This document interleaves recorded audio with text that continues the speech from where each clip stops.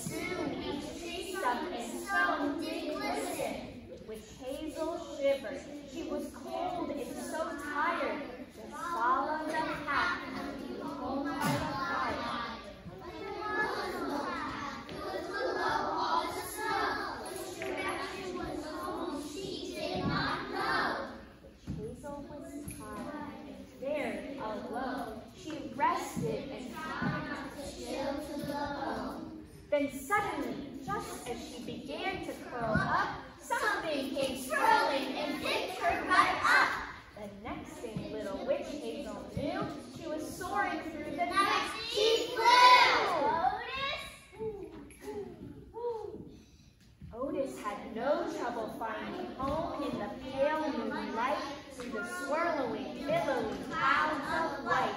Inside little witch Hazel's house, all was safe and warm, protected inside from the strong snowy storm. Otis tucked her in bed and cozied in tight. They slept soundly